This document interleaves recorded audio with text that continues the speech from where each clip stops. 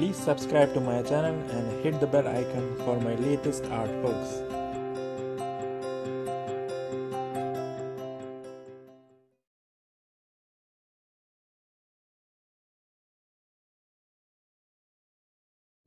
Hello friends आज हम सीखेंगे कि कैसे हम एक फ़ोटो के थ्रू एक पोर्ट्रेट बना सकते हैं केवल पेंसिल मेजरमेंट्स का यूज़ करके तो देखिए मैं यहाँ कैसे कर रहा हूँ मैंने आइस का आउटर टू आउटर डिस्टेंस ले लिया और इनर टू इनर डिस्टेंस देखिए ले रहा हूँ। तो दोनों आइस के सॉकेट्स को बना लेता हूँ सबसे पहले। देखिए, यहाँ पे मैंने चार लाइनें खींच ली, बहुत ही हल्के। उसके बाद इन चार लाइंस के अंदर ही दो आइस के जो सॉकेट बने हैं, उनमें आइस को ड्रॉ कर रहा हूँ। और बहुत हल्के प्रेशर से ड्रॉ करना है पेंसिल के, ताकि हम फर्दर कोई चेंजेस करना हो तो हम उसे इजीली कर सकें। और इसके ऊपर आईब्रो को भी मैं ड्रॉ कर लेता हूँ। अंदर उसके आई बॉल को भी ड्रॉ कर लेता हूँ। और इसी तरह से अनदर आई को भी मैं ड्रॉ कर लेता हूँ। ये बिल्कुल वैसा ही वीडियो है जैसा मेरा पिछला वीडियो था how to make a face तो जो बेसिक्स उसमें यूज़ किए गए थे, उसी तरह से मैं यहाँ पे एक पोर्ट्रेट बनाने की कोशिश कर रहा हूँ। क्योंकि कुछ लोगों ने पूछा था कि क्या इस टेक्निक से पोर्ट्रेट भी बना सकते हैं। तो डेफिनेटली बना सकते हैं। बस हमें एक फ़ोटो चाहिए होगा। और उसी फ़ोटो के मेजरमेंट्स को यूज़ करके हम एक पेपर पे पोर्ट्रेट बना सकते हैं। बहुत इजीली देखिए मैं कैसे बना रहा हूँ। बाईस के सेंटर से नोज़ का बॉटम ले लिया और नोज़ को ड्रॉ कर लिया। पोर्ट्रेट बनाने के बहुत सारे तरीके होते हैं जो आर्टिस्ट यूज़ करते हैं। कुछ लोग ग्राफिकल मेथड का भी यूज़ करते हैं और कुछ लोग ट्रेस भी करते हैं। But I think most preferred by the artist is this only कि जिसमें हम पेंसिल्स के मेजरमेंट्स को लेकर के पेंसिल के थ्रू ही सारे मेजरमेंट्स करके और उसको ट्रांसफ़र करते हैं अपने पेपर पे या कैनवास पे।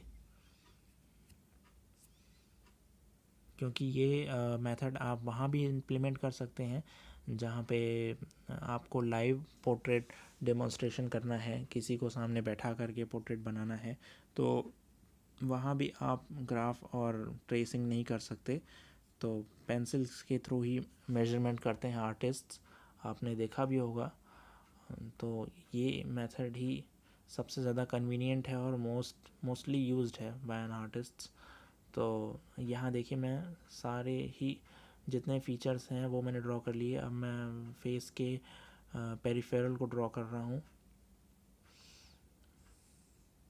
और लगातार मेरी आँखें इनके पोर्ट्रेट और अपने पेपर के ऊपर बार बार शिफ्ट हो रही हैं। तो सो so दैट छोटे से छोटे ऑब्ज़र्वेशन को भी मैं ईज़िली ड्रॉ कर सकूँ। और जितना ज़्यादा आप मेज़र करेंगे। जैसे मैं देखिए, ज़्यादा से ज़्यादा मेज़र करने की कोशिश कर रहा हूँ मेजरमेंट्स ले रहा हूँ तो उतना ही ज़्यादा एक्यूरेट बनेगा आपका पोर्ट्रेट तो इस चीज़ का ध्यान रखें। छोटे से छोटे मेजरमेंट्स को भी लेने का कोशिश करें, ताकि आपका पोर्ट्रेट बहुत ज़्यादा एक्यूरेट हो और उसमें एरर्स कम हो।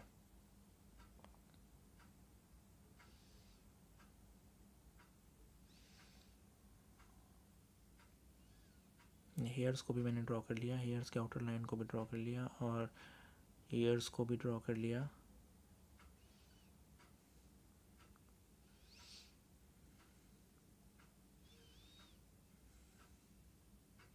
क्या मैं, आपने देखा, मैंने यहाँ कोई स्केल कोई ग्राफ ग्राफिकल मेथड वगैरह कुछ भी नहीं यूज़ किया है, ना ही कोई ट्रेसिंग मेथड यूज़ किया है सिंपली पेंसिल से ही मेजरमेंट्स लेकर के आइज़ ड्रॉ किया नोज़ ड्रॉ किया लिप्स और चिन वगैरह सारा कुछ केवल पेंसिल के मेज़रमेंट से ही ड्रॉ कर लिया।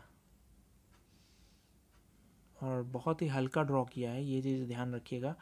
हल्का ड्रॉ कीजिएगा, कम प्रेशर डालिएगा पेपर पे सो so दैट आप फर्दर कोई चेंजेस करना चाहें, जैसे मैं थोड़ा बहुत इरेज़र का यूज़ कर रहा हूँ तो वो कर सकें ईज़िली नहीं तो उस पर मार्क्स रह जाएँगे तो वो बहुत ही ऑकवर्ड लगता है और वो डिफ़िकल्ट भी होता है।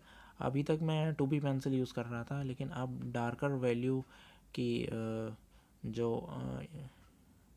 पोर्शंस हैं, उनके लिए मैं फोर बी पेंसिल यूज़ कर रहा हूँ। जैसे आइज़ हैं, जो डार्कर पोर्शंस हैं उनके लिए मैं फोर बी पेंसिल का यूज़ कर रहा हूँ। और फर्दर इसके बाद मैं सिक्स बी भी यूज़ करूँगा। सो so दैट जितने डार्कर वैल्यूज़ हैं, उनको भी ऑप्ट कर सकूँ।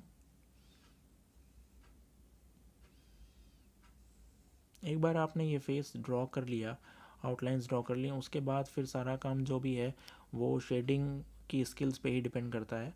तो अभी जो मेरा ये वीडियो है, वो केवल इसी पे था कि आप ट्रांसफ़र कैसे करेंगे आउटर लाइंस को फेस की, और वो हमने कर लिया है। अब जो शेडिंग वाला पर्पस पोर्शन है, वो भी सेपरेटली मैं आपको बताऊँगा आगे आने वाली वीडियोस में। तो उसके लिए आप मेरे चैनल को देखते रहिए।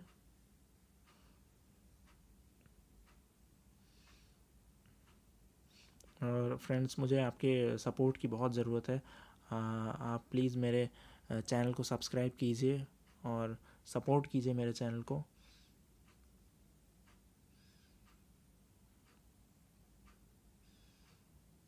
बाकी वीडियो को मैंने टाइम लैप्स कर दिया है। क्योंकि इस वीडियो का पर्पस आपको पता ही है, ट्रांसफ़र करना ही था। उसके बाद जितना शेडिंग वाला पोर्शन है, वो फिर मैं अगले फर्दर वीडियोस में भी आपको डिटेल्ड में बताऊँगा कि कैसे शेड्स दी जाती हैं।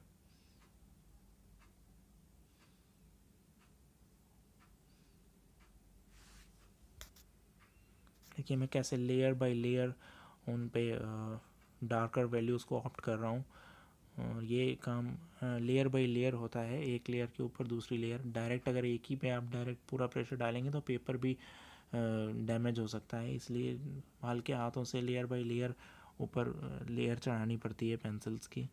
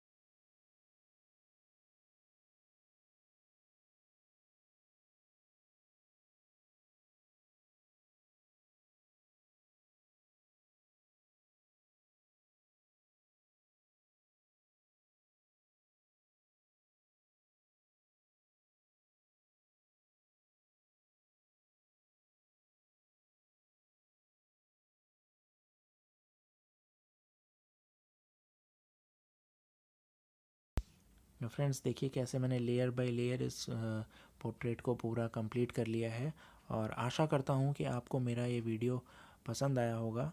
आशा ही नहीं, हालाँकि मुझे पूरा विश्वास है कि आपको पसंद आया होगा और आप मेरे इस वीडियो को लाइक करेंगे शेयर करेंगे और प्लीज़ मुझे कमेंट कीजिए।